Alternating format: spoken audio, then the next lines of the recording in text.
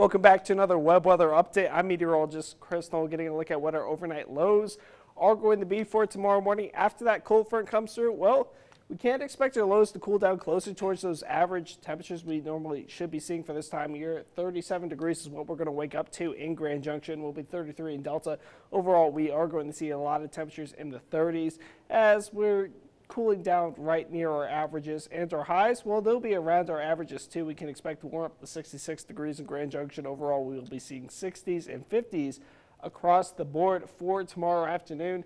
And we'll still see some clear, we'll, we'll see some more dry weather. We will see some more cloud cover starting to build up later in the afternoon hours, building up to partly cloudy skies.